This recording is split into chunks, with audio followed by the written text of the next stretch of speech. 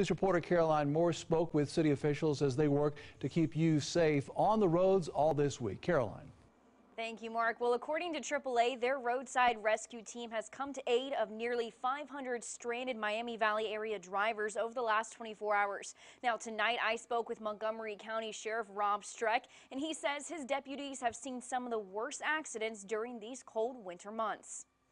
The biggest danger is uh, people following too close and going too fast. The, the dangers you were doing before when you were messaging or answering your phone now quadruple Winter weather creates new obstacles for drivers, turning normal activities into threats under hazardous conditions.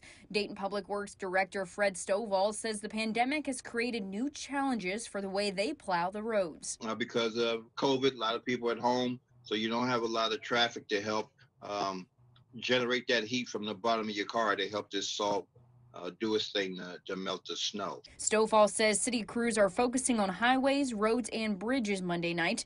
Then they'll shift to residential neighborhoods on Tuesday. Montgomery County Sheriff Rob Streck urges drivers to be cautious, get off their cell phones, or stay off the roads altogether. But most importantly, wear a seatbelt wearing a seatbelt is one of the safest things you can do when you're in a vehicle. There's all kinds of stories out there about, well, if I would have been wearing my seatbelt, I might not have made it.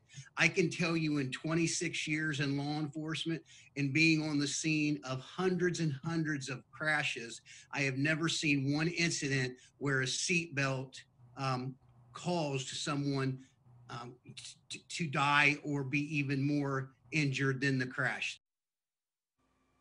Dayton Public Works advised people to get their cars off the road if they can and allow extra time for your morning commute. In the newsroom, Caroline Morse, 2 News, working for you.